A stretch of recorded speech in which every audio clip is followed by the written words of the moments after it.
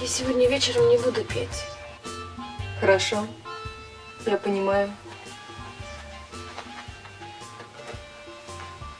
Я все время думаю, что мне теперь здесь делать одной. Но ты же не одна, у тебя же столько поклонников. Поклонников. Которые стоят около сцены и орут благим матом.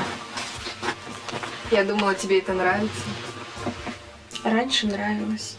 А подруги? Подруги у тебя есть? Друзья только. Влад и Стас. Алиса, у тебя все еще впереди. Меня такие фразы раздражают. Почему? Я же искренне говорю. Почему вы все так любите давать советы? Устраивать чужие жизни? Потому что своя не сложилась, да? Уеду. Вот возьму и уеду, Куда? куда глаза глядят. Всегда мечтала это сказать. Вот и сказала. Только это, оказывается, не так весело, как мне казалось. Почему?